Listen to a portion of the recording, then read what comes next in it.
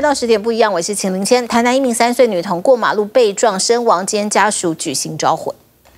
三岁女童过马路被左转车辆碾压身亡，隔日回到案发地点，家属举行招魂仪式。爸爸等啊，等来报病，妈妈给好起来，妈妈给你女童妈妈人在加护病房，还不知道女儿的死讯，家属不敢说，就怕她承受不住。你给等啊，妈妈过来你个报病，不做高爷，会替你做主。爸爸这条命无来，嘛替你讨回公道。就这么一个宝贝女儿，女童爸爸掩面痛哭，一边处理后事，还要一边往医院跑，蜡烛两头烧。你问我讲，啊，阮做囝有较好无？我甲伊甲变讲，阮做囝伫别个病，好好啊，无安怎？隐瞒事实，因为太太的病情还没稳定。我只好讲，阮祖囝伫别个病，伫赶快伫先台，伫一般的病床，阮丈妈就人安尼啊顾，等伊较好诶。我甲带伊，阮祖囝，去阮之前说过所在过来床一届。母女从此天人永隔，女童妈妈人还在加护病房，等待病情稳定才能再做治疗。肇事孕妇怀孕十七周，事发之后她情绪不稳，在医院安胎。伊伫遐讲，伊生来这这个要陪我，要安陪，我都完全一模一样吗？我生我搁生一个陪，我搁生一个后伊，伊敢袂？夫妻俩只有一个独生女，独一无二的宝贝，拿什么都赔不起。不过陌生人的暖心之举，也让他心里感到安慰。伫遮代表阮祖囝，向大家叔叔阿姨、哥哥姐姐感谢。民众在案发路口摆上鲜花、玩偶和公主手杖，自发性献花悼念女童。一条来不及长大的小生命就此陨落，家属难以接受。TVBS 新闻爱招贤 SNG 小组台南报道，而且这个妈妈三十六岁才生下这名独生女，而且生产过程折腾了三天三夜。女童跟着妈妈看完医生，两人还蹦蹦跳跳，沿着骑楼准备回家。当时时间是上午的九点五十一分，没想到一分钟后过马路途中就遇到死结。原本活泼外向的妹妹成了一具冰冷遗体，也让家属无法接受。一直好不了，所以就又去看科。还有看过敏，很活泼啊，会唱歌跳舞这样子。看得出来，话都还说不清楚，三岁的小妹妹就已经有大将之风，一边念着歌谣，还能手舞足蹈，开朗的个性，随时都能逗得爸妈哈哈大笑。哦，白爸，你白爸啦？哦，白爸，你白爸啦？你个白爸，不个无白爸？笑容可掬，聪明又懂得撒娇，是爸爸跟女儿互动的温馨感受。也难怪在每段的家庭生活影片，两人总是开口大笑。被你记料都讲啊，吗？还有聪明的小孩啊，他自然就会用一些比较嘎塞那的方式。还有一个底下，爸爸，我我要吃糖果。虽然生活互动带给夫妻俩满满幸福，但想起太太当初以三十六岁的年纪生下这名独生女，还有过一段刻骨铭心的经历。生的时候比较痛苦啦，是连续折腾了三天三夜，到第四天白天才终于生出来。哎，看到吗？原本以为跟着妈妈经历三天三夜的苦难，一切将会否极泰来，没想到度过三年的幸福时光，仍躲不过残酷的命运。如今这一张张、一段段的甜蜜互动，只能留给女童爸妈无限追忆。TVBS 新闻南部综合报道：妈妈牵女童过马路走斑马线，却还是被撞。同个路口，上个月底，一名七十七岁的妇人也在同一个地点同样被撞。与三岁女童丧命的同一个路口，上个月二十九号，一名七十七岁的陈姓妇人同样也走在斑马线上，撞到。妇人按照交通法规乖乖走斑马线，却还是被撞，倒地不起，脚踝骨折，驾驶自己未礼让行人，但肇事驾驶与保险员却疑似要卸责。保险员又说他们有目击者说妈妈没有走在斑马线上，警员是跟我们说该地方是监视器是没有拍到的。然后我们就觉得那么大的路口，十几只监视器怎么可能会没有拍到那个画面呢？车祸发生后，保险公司肇事驾驶和警方竟然没有一个单位愿意让真相曝光，被撞妇人家属一度沮丧失望。幸好还是有监视器还原真相。我就觉得说一一刀真的被插到心脏了，因为妈妈她就是躺在那边，然后那么可怜，七十几岁的被撞，他还说他没有走走斑马线。富人明明就走在斑马线上，保险员却说有目击证人，监视器画面成为铁证。事发在上个月二十九号晚间六点多，台南市成功路和忠义路，同样在三岁女童被撞身亡的路口，还几乎是同个位置。七十七岁的陈姓妇人过马路，照规矩走斑马线，被左转车辆撞上。一开始没调到监视器，被害人还差点喊冤。我很想要知道那个目击证人到底在哪里，这个是重点。那现在录影带出来了，那该你看到的人呢？放大仔细看，富人过安全岛的确有一步之差，偏离斑马线。但根据现行法规，斑马线前后延伸三公尺内，行人拥有绝对路权。因此，不管如何，左转肇事驾驶难辞其咎。TVBS 新闻张丽玲、林嘉义台南报道。国际焦点来关注俄乌战争，俄罗斯举行大阅兵之际，又对乌克兰展开大规模的空袭，其中二十五枚巡弋飞弹有二十三枚遭到拦截。巴赫姆特更在短短二十四小时之内遭遇四百次这么多次的空袭。乌克兰对于大反攻依旧保密到家，似乎要对俄军造成心理压力。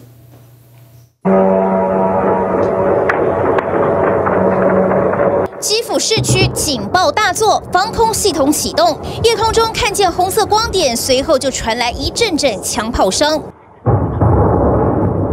又是来自俄罗斯的无人机攻击。夜晚看不清楚，直到天亮才看到基辅市中心大楼被轰出一个大洞。Так, звичайно, чула сильний взрив.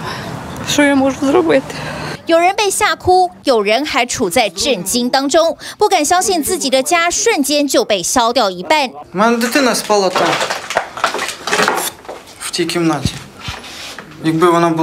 俄罗斯在当地时间五月八号发动了一波六十架自杀式无人机攻击这当中有至少三十五架是锁定基辅而来。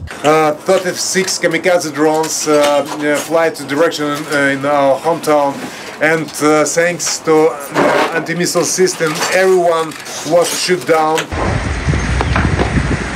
而在南部的海港城奥德萨就陷入一片火海。 capital of Kiev in the east in Kharkiv and in the south in Kherson and the town of Odessa. There, a Russian missile obliterated a Red Cross warehouse, destroying all the humanitarian aid stored there. 红十字会的人道救援物资通通被烧个精光。乌克兰从南到北都被攻击，还没完，在当地时间五月九号清晨，又是一波飞弹攻势。Cruise missiles, eight fired from the Black Sea late Monday night, 17 fired from over the Caspian Sea uh, to the east of Ukraine uh, in the early hours of this morning. Uh, most of them intercepted, and this, of course, coming after a barrage of drones that were all shot down the day before. So it, it is perhaps we can look at this after today as an inflection point in the war because now both sides will have read each other through this moment. 就在乌克兰随时可能反攻的紧张氛围下，俄罗斯是不断猛攻。激战区巴赫姆特传出二十四小时被轰炸了四百次。说暂时不撤的瓦格纳公布了和乌军近距离搏火的画面，乌克兰坦言还是守得非常辛苦。Сьогодні обстановка в Бахмуті важка, але обстановка ця контролюється силами оборони Бахмуту. Ворог підвищив інтенсивність своїх атак, е, підвищив кількість е, живої сили. 那到底何时要反攻呢？ 乌克兰政府持续卖关子，只说随时都可能启动。这样的气氛之下，赫尔松里的二战区还突然开始撤离民众，夜里出城车流大排长龙，还有俄军出动，每家每户的去敲门，强制民众撤离。 Военная комендатура открывается.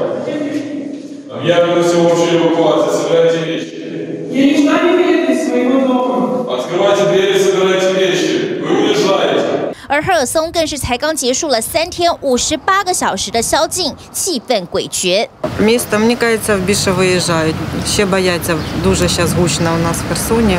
І страшно, просто вбивають багато людей. 就连 CNN 团队到前线采访，也在乌克兰政府的要求之下，限制重重。 Well, there are restrictions that reporters like us are put under in Ukraine that do not permit us to uh, to talk about troop movements we see or locations or numbers of troops.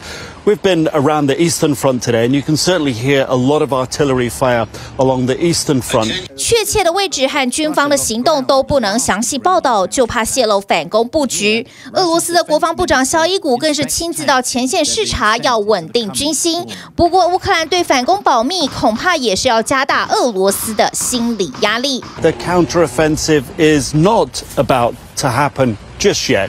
It will, but they say part of the psychology of the counteroffensive and having the Russians believe that it's coming and that it's been imminent for some time has drawn a large number of Russian troops into Ukraine. 乌军表示，俄罗斯派越多兵到前线，反而会让补给越来越困难。另外，欧盟执委会的主席范德莱恩再到基辅，要在俄罗斯庆祝二战胜利日时，乌克兰这一天是要庆祝欧洲日，誓言他们永远对抗俄罗斯。TVBS 新闻综合报道。好，就继续来看俄罗斯今天如期举行的这个红场胜利日大阅兵，不过规模是大幅的缩水，不知道是不是因为受到克里姆林宫日前被无人机攻击事件的影响，有安全疑虑哦，所以这次大阅兵取消了不朽军团的游行，只出动大概一万名的兵力，而且武器展示的环节，新武器亮相的也很少，出场时间只有短短六分多钟，甚至打头阵的呢，居然是二战时期的 T 三四老坦克车。普京痛批西方散播恐恶情绪，还把乌克兰挟持当作人质。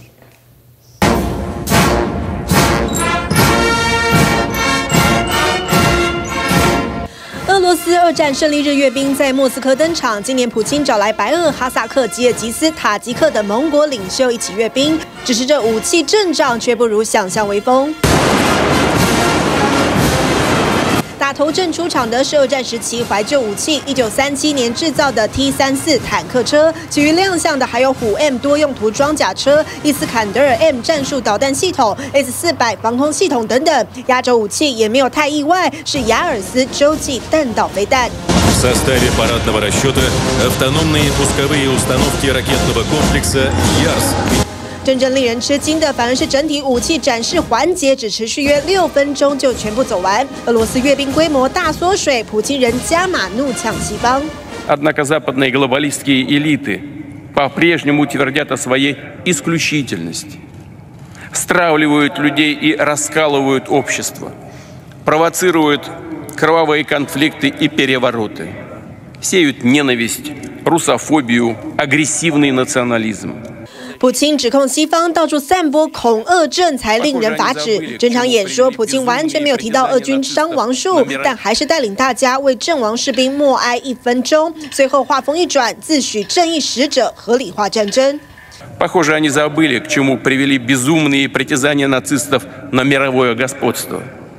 Забыли, кто разгромил это чудовищное, тотальное зло, кто встал стеной за родную землю и не пожалел своих жизней ради освобождения народов Европы. 普京说，乌克兰是西方政权下的筹码，最后才落得如此下场。 Непомерные амбиции, высокомерие и вседозволенность неизбежно оборачиваются трагедиями. Именно в этом причина катастрофы, которую переживает сейчас украинский народ. 不过，俄罗斯境内近来多次遭遇爆炸，阅兵前大幅收紧红场维安，甚至下达无人机禁令。专家说，普京在这个状况下还坚持要阅兵，因为他需要大内宣来寻求国内支持。 Это демонстрация того, ну, что, что соответствует линии путинской власти, что, что у нас все дела нормальные, как будто у нас типа все нормально, а в войсках все знают, что у нас ненормально, мы ждем украинского контрудара. 只是俄罗斯恐怕再也换不回乌克兰人的心，因为乌克兰连二战胜利日的日期都决定要跟俄罗斯彻底切割。 Сьогодні я подав до Верховної Ради України законопроект, яким пропонується встановити 8 травня днем пам'яті та перемоги над нацизмом у Другій світовій війні. 将原本的五月九号改称为欧洲日，胜利日变成五月八号，要和欧洲一起捍卫自由。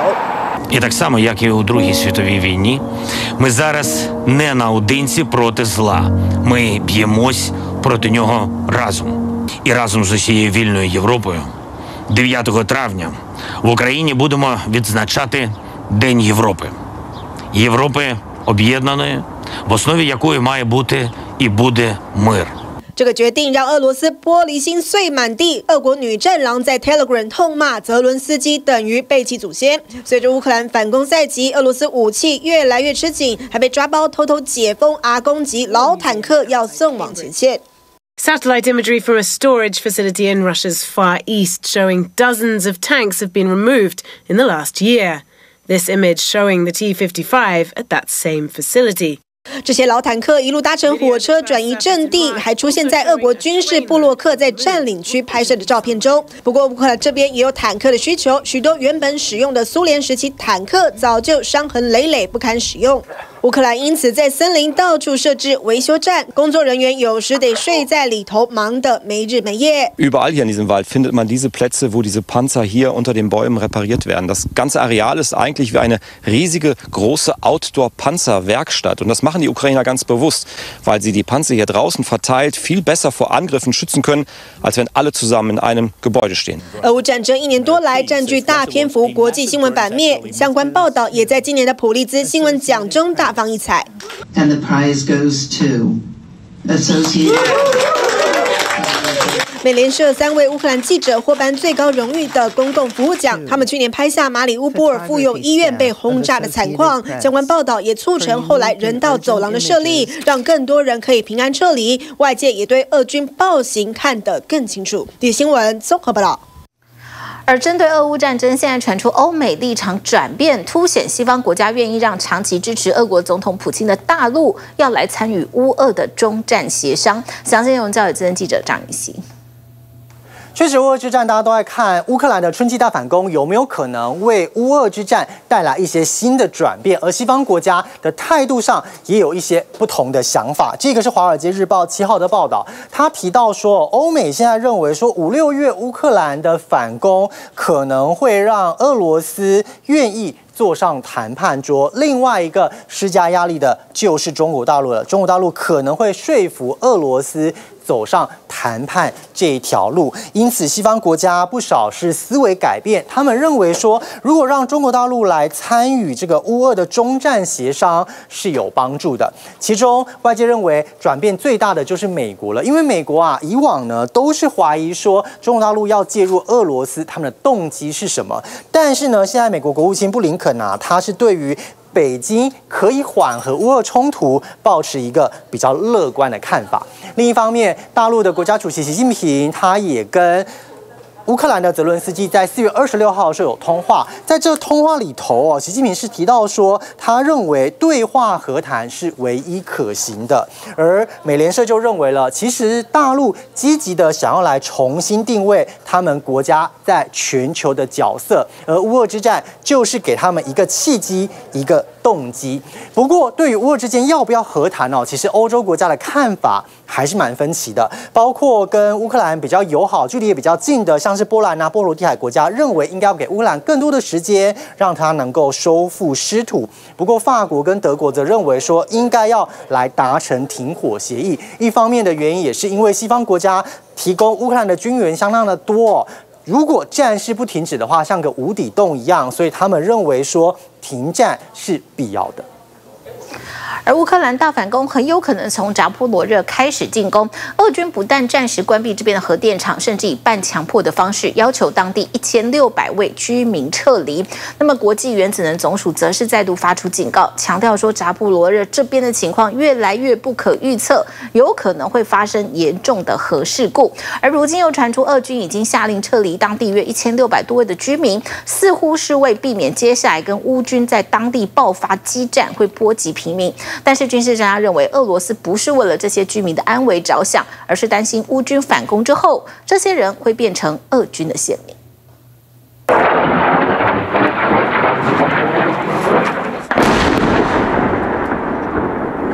俄罗斯 KH 三一战术飞弹六百公尺外落地爆炸。话刚说完。第二枚马上打过来，CNN 采访团队遭遇恐怖空袭，带着摄影机直击飞弹炸的大洞。 You can get a feeling of just how massively brutal Russian firepower can be. and also how indiscriminate. I can still smell the explosive down here, and you're kind of left wondering where the obvious military target is. 盲目乱炸，扎波罗热州的居民似乎习惯了。 See people just down the road here carrying on life as per normal despite dust in the sky around us. 话还没说完，又听见巨响，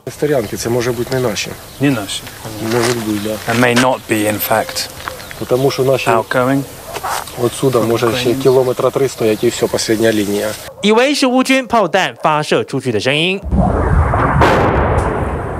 但随行联络员研判似乎更像俄军炮弹打过来。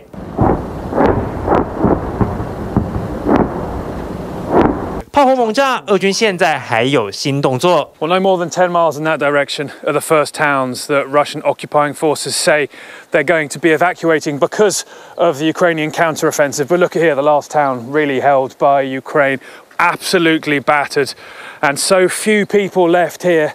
There's little need.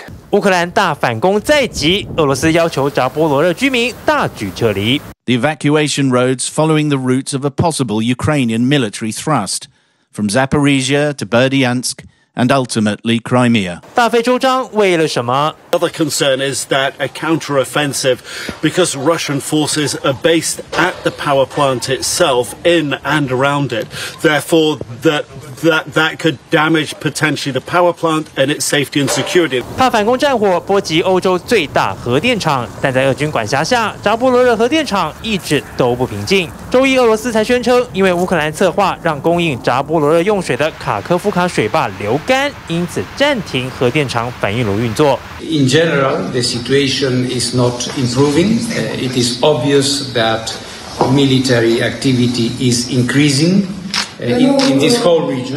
没拿出证据，单纯一个指控就能让核电厂陷入运转危机。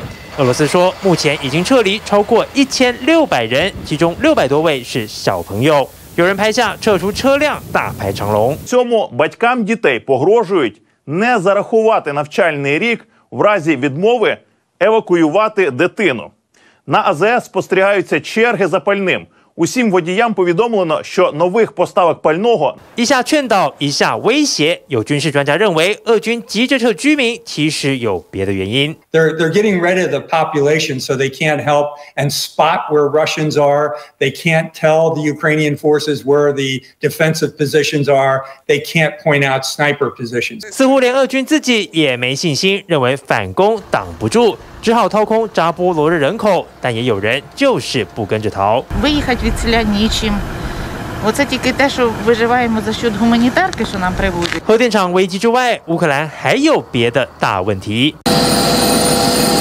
农忙日子又到了，但战争打了一年多，粮食种植人力严重不足。 Yeah, so out of the 300 employees, there's 40 in the army. They're not all in the front, in the front lines. Yeah, but we miss them. You know, that's uh, there's some good specialists there. So um, it has an effect on their company. 而且黑海谷物出口协议又陷入即将破局的窘境。俄罗斯官媒最新消息，五月十号，乌、俄、土耳其和联合国四方高级代表将在伊斯坦堡谈判，想办法挽回粮食协议。TVBS 新闻综合报道。想看最完整的新闻内容，记得下载 TVBS 新闻网 APP。